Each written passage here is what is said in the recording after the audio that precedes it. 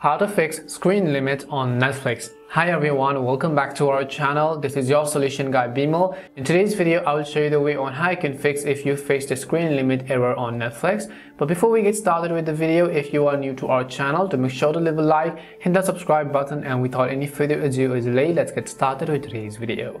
Now, whenever you face a screen limit error on Netflix, let's say for example, you open up your Netflix app, you log into your profile, you try to watch some shows, but then it simply gives you the screen limit error.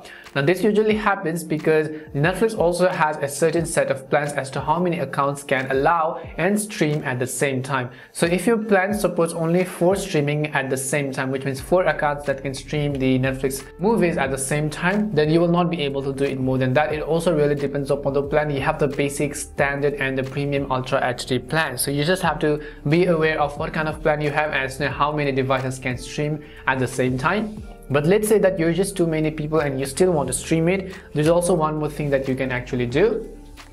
Let's say that you are trying to watch a show and then it simply says your screen limit. So I would recommend you to not just open that show, just open up the highlights of that show over here and do not try to stream the movie but instead what I would recommend you to do is just simply download it. Now when you download the movie, what you can do is after the download is actually finished you can just go ahead and then turn off your internet connection and then you can just come back to your downloads page so i'll just cancel this one for example. After you do that just go ahead and close the netflix app after you download it and turn off your internet connection and that way netflix won't connect to the server. And now you could just go ahead and then open up netflix and you could visit your download section and you could go ahead and simply watch your movies and shows in that way. But keep in mind that depending upon your plan the streaming service also really matters. And also you can actually download and watch them without any restrictions.